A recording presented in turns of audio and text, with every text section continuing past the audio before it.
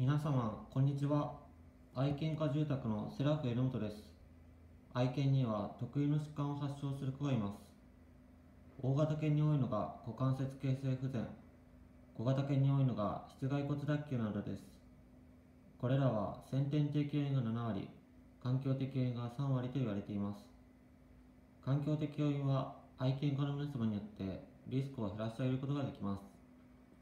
環境的要因として挙げられるのが愛犬が足を滑らせてしまうフローリングの床。こうしたフローリングの床には床のコーティングがおすすめです。床のコーティングならセラフ榎本にお気軽にご相談ください。さて愛犬丸抜クイズです。ご飯を残すのはフードの味が嫌いか腐っているためである。答えは×です。